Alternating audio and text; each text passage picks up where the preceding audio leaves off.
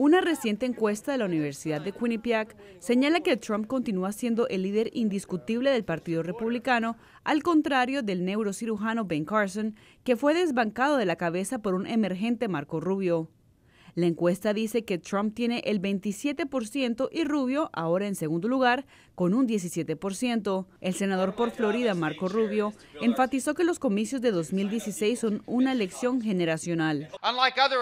A diferencia de otras elecciones, no se trata de elegir diferentes nombres en la papeleta. Lo que quiero decir es que llegó el momento de que esta generación escoja qué tipo de país quiere que Estados Unidos sea en el siglo XXI. A solo un punto de diferencia de Rubio se encuentra Ted Cruz, el cual durante una entrevista dijo que si es elegido presidente, cambiará drásticamente la manera en la que Estados Unidos se relaciona con el mundo.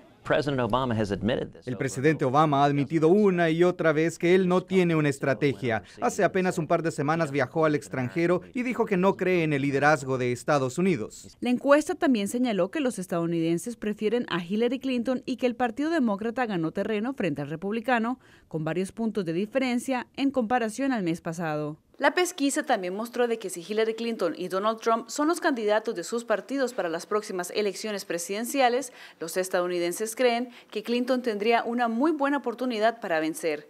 Cristina Caicedo Smith, Voz de América, Washington.